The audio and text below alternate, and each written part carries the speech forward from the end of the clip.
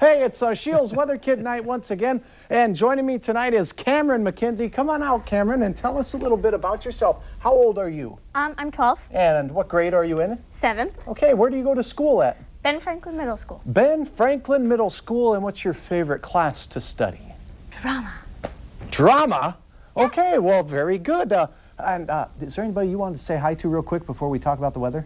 Hi, Mom and Dad. All right. Hi, Mom and Dad. First and foremost, get up here and tell everybody where it's windy. Wind speeds right now are still pretty gusty. Where is it the gustiest?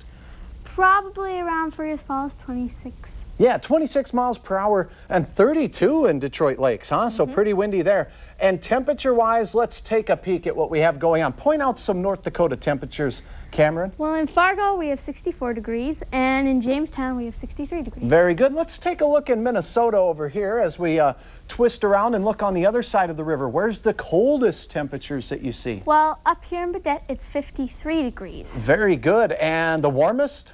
Um, Bemidji, which is 61. Very good. And uh, Fergus Falls, pretty nice at 63 as well. Now, the white stuff on Hutch's weather map here. What is this? Clouds. All right, we got clouds And What town is it by? Saskatoon. We decided Saskatoon is a fun one to say. Now, these clouds near Saskatoon are moving in our general direction. Do- What do you think? Do you think they'll get here? Well, I think they'll come to about Minot and Bismarck, and maybe some will pass through Fargo. Very good. So she's uh, trying her hand at forecasting. Cameron, good job. Let's take a look at the hour by hour forecast, though. And if you're heading outdoors this evening, it's going to get pretty cool pretty quickly as we have a big old H on the weather map moving our way. Does that stand for Hutch?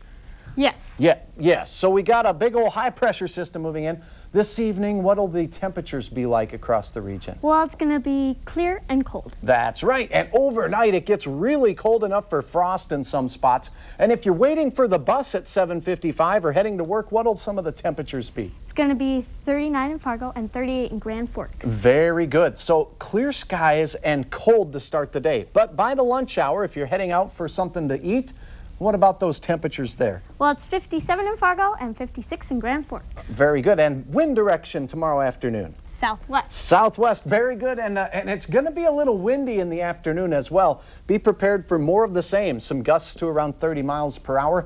Then, what time does the weekend start after school? 325. 325 after school then at Ben Franklin. What can the kids expect? 62 degrees in Fargo. And a little bit breezy, so if the kids are really small, we suggest you put rocks in your pockets to keep from blowing around too much, right? Uh-huh. Okay, now taking a look at Friday night. What's the map showing you, uh, Cameron?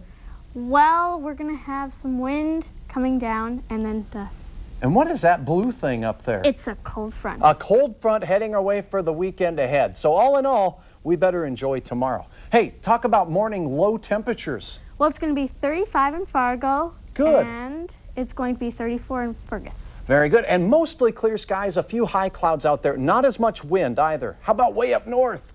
It's 28 in Baudette and 30 in Roseau. Is that cold enough for frost? Yes. Yes, it is. All right. 29 in Langdon. And how about Grand Forks? Did you catch their number? I'm sorry, I didn't. 32. 32. All right. Now for tomorrow, high temperatures. 66 in Fargo. Okay, so nice temperatures, still breezy, and from the south. How about in Fergus Falls? 66 degrees. And point out some in northern Minnesota. well, we got Warren at 61, and we got Thief River Falls at 57. Excellent. And how about northeast North Dakota? Um, 63 in Grand Forks. All right. And hey, you did an awesome job. Why don't you have a seat over there by Mike and we'll wrap up that seven day forecast by telling you that it looks like cooler air is heading our way. And Cameron came over and she said, Hutch told me to sit up like I own the place. Is that how you do this, uh, Hutch? Well, sure. You, you don't want to like lean back and put your feet on them. You did a nice job. She Very did nice awesome job. job.